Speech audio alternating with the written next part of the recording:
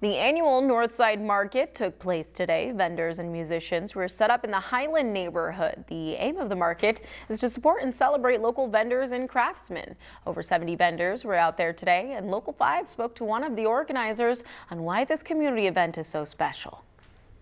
You know, we have just a diverse showing of not just makers, but also people here, you know, like from all walks of life, and it's just really special. The goal of the event is connect local makers to the community in the area, building relationships and opportunity.